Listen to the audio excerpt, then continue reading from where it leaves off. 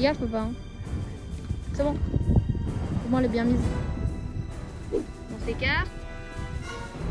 On doit attendre un peu. Mais il faut attendre. Merci. T'entends des critiques Houston, we have a problem.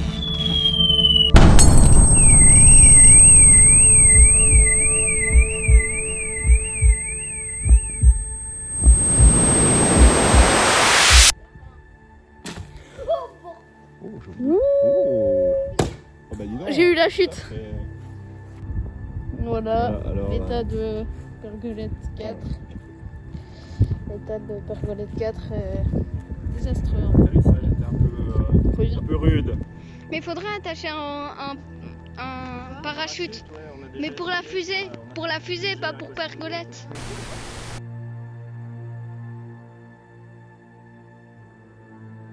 Je sens, euh, je sens qu'elle gonfle. hein. Ouais. On va pas trop traîner. Allez, on va jusqu'au cible.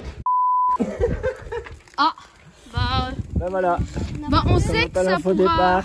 Mais j'entends juste des... pchit. Oui. Bon, euh, si j'étais toi, je lâcherais ça. Oui.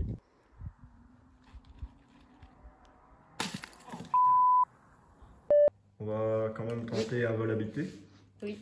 Donc, euh, Premier vol de Pergolette. On, On espère un truc, c'est que juste Ouais. quand la fusée arrivera au bout de sa course, ben, Que ça fasse que sortir le le, truc retombe. parachute. Mais j'ai un petit doute parce que là, ça, le, parachute, le parachute il bloque fort. Enfin, on va essayer, on verra bien. Bon. Joli t-shirt.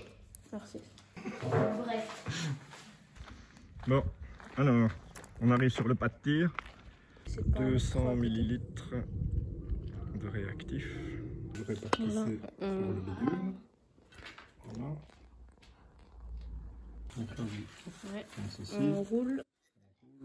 comme ceci. Euh, un seul tour, ça trop parce suffit. que bon, il faut quand même que Ouais, ouais. le truc soit perméable. Hein. Ouais, Sinon, voilà. Évidemment, le bicarbonate, euh, si Non. on n'est pas en contact avec le vinaigre, Bah, ça va rien il faire. va pas se passer grand chose. Hein. Non. Coupez au montage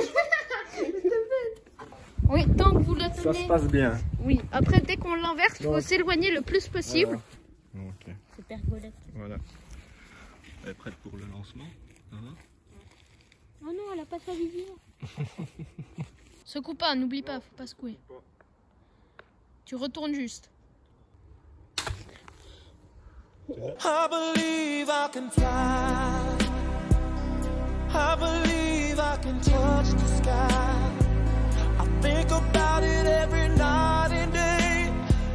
Spread my wings and fly away. Pergolette est pas sortie.